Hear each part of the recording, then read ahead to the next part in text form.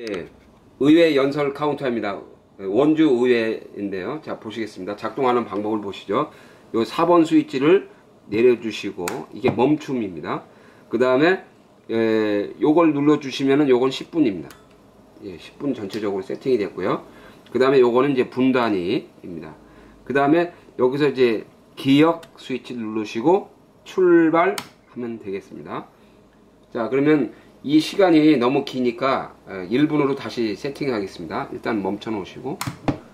자, 요것이 이제 초기화입니다. 0을 만드는 거죠. 0 만들었죠. 자, 요게 1분 됐죠. 그 다음에 기억, 그 다음에 출발 이렇게 하시면 되겠습니다. 네, 1분이 지나면은 어떻게 되나 보시겠습니다.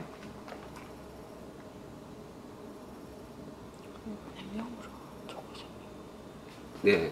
자, 그러면 요거는 이제 평소에는 카운터로 쓰지만 이제 연설이 끝나시면은 시계로 전환합니다. 시계가 되죠.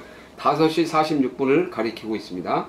근데 이제 연설하실 때는 네, 카운터로도 사용하실 수 있습니다. 동기화가 돼서 카운트를 하고 이제 에, 연설이 끝나시면 에, 시간으로 돌려주시면 되겠습니다. 자, 이제 20초 남았습니다. 20초 남았을 때 다시 어떻게 1분 카운트를 어, 다시 들어갈 수 있는지 보시겠습니다.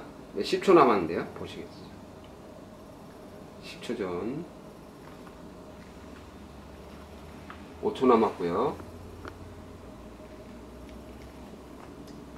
예, 0이 되니까 다 멈췄습니다. 이제 연설이 주어질 시간이 끝난 겁니다. 다시 1분 하고 싶으시면요.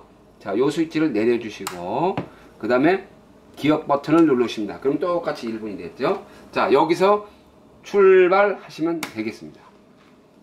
이런 식으로 계속 연설 어, 카운터 타임을 사용하실 수 있겠습니다. 이상입니다.